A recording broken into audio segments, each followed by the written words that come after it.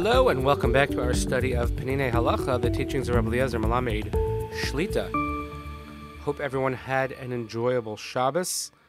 Extremely cold here in the Northeast. Hopefully, those who are enjoying the Shiva Week vacation are in places that are warmer than it is here. But the Torah shall keep us warm nonetheless. We continue our study this week. Again, for the brave soldiers of the IDF and their merit and their safety, for the refuah shlema of Am Yisrael, and for the safe return of all of our hostages. The next chapter, Shutva Seyacha b'mitzvah zaklalis. Madregas madregas yeshna b'shutva shakol yachd v'yachid b'mitzvah yisha v'eretz haklalis. So in the general mitzvah, or in the public communal mitzvah of settling in the land of Israel, there are many, many levels of partnership that fall upon each individual. Kol Yehudi Shagar Eretz Yisrael who shutaf b'mitzvahs yishuv Eretz. Every single Jew that lives in the land of Israel is a partner in this mitzvah of settling the land. Shal Yidei Yeshiva so, for via his or her living in Israel, achizasam shal Am Yisrael ba'artzam mischazekas. Every single Jew that moves to Israel, then our hold, our ability to fulfill this mitzvah to its fullest becomes stronger and stronger. משהולך לגור במקומות שוממים יחסית, כנגב וכערבה, יש לו חלק גדול יותר במצוות יישוב הארץ. And those who take it upon themselves to live in places that are less populated, so he gives, for instance, in the Negev, the desert, in the Arava, those valleys, but places where it's not the Merkaz, as we would call it today, the center of Israel, they have a greater portion because they're making sure that every single part of Israel is populated and settled and does not lay fallow or go to waste. And someone who lives in what we call Yehuda and Shomron, some people call it the occupied territories, some people call it the Shtachim, I prefer to call it Yehuda and Shomron. Then he sell, set, that person will fulfill by settling in those areas of Yehud and an even greater mitzvah.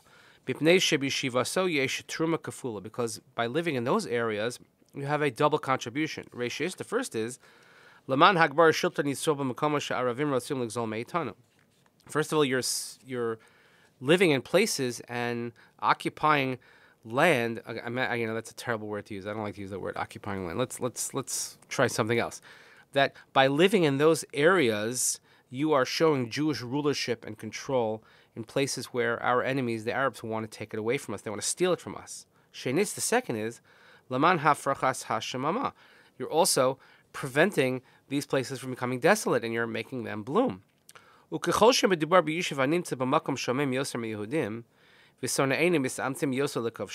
the more we speak about living in places where there are fewer and fewer Jews and our enemies are trying very hard to conquer those areas, kacha mitzvah shel hagarim bo yoser.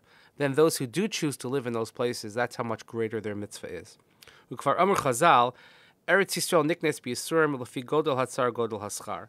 The Gemara tells us that Israel is one of those things that is acquired only through suffering and difficulty and challenge, and the more the difficulty, the more the challenge, the greater the reward.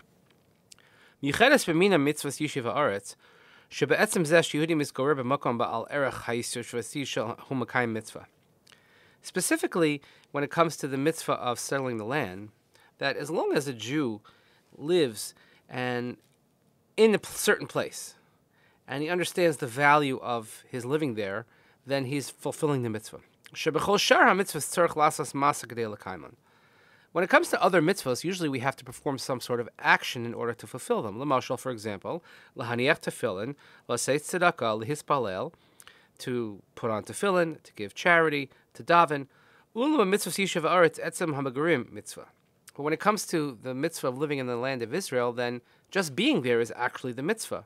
Nimsa shekol misha zocha lagober eretz Yisrael va'od yoser b'yeshuva um, Yehuda and Shomron, chayei hashegra shalo ka'achila Shena v'afkol neshima neshima hovchin lemitzir shel mitzvah. So someone who lives and settles in the land of Israel, and especially if you live in those places that are less populated, or Yehuda and Shomron, where we expressed the greater level of the mitzvah, then of course being there, but every single breath that you take, every time you eat, every time you sleep, every step that you take is part of a mitzvah. So your regular actions have then become ennobled and elevated into actions of mitzvah. Think about that. Everything that you do is a life of mitzvah.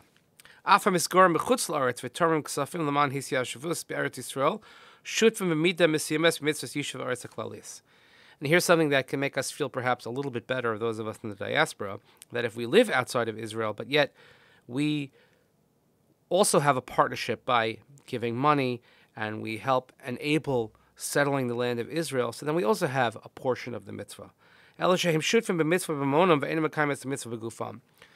Our money is what allows us to have partnership, even though we don't have a physical fulfillment of the mitzvah with our bodies, but with our possessions we do.